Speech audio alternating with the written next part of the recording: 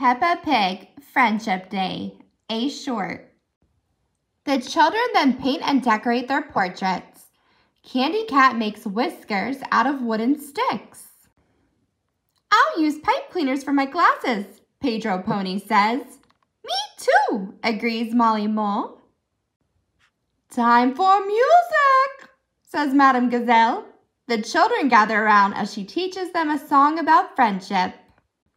Peppa and her friends sing and dance together. It is so much fun. The paint on the portraits has dried. They are ready to go up on the wall. Now let me hang your pictures side by side, Madame Gazelle says. I'm going to make it look like you and I are holding hands, Peppa says. Hooray! exclaims Suzy. Soon, everyone in the playgroup is making their outlines hold hands.